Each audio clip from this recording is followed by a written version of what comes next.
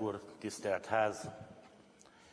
Hallgattam a vitát, és nekem is az volt a benyomásom, Lendvai Ildikó előadásának a hibája, hogy nem tudom elhinni a, tisztelt, a teljes megbánást.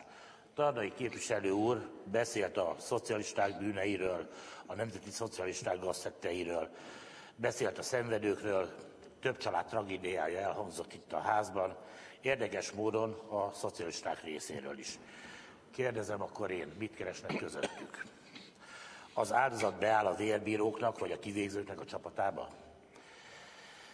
Számomra érdekes és visszatetsző ez a tény. Nekem nagyapámat is elvitték annak idején az oroszok, azóta semmilyen információ nincs róla, de ettől függetlenül én nem vagyok biztos abban, hogy az iskolákat Auschwitzba vagy Birkenauba kell vinni. Véleményem szerint a terrorháza, vagy a holokauszt emlékmúzeum, vagy Recs pontosan elég ahhoz, hogy nagyon precízen, pontosan és a valósághoz hülyen emlékezzen mindenki az áldozatokra, és ítélje el a bűnösöket. Köszönöm, hogy meghallgattak. Köszönöm szépen, képviselő úr.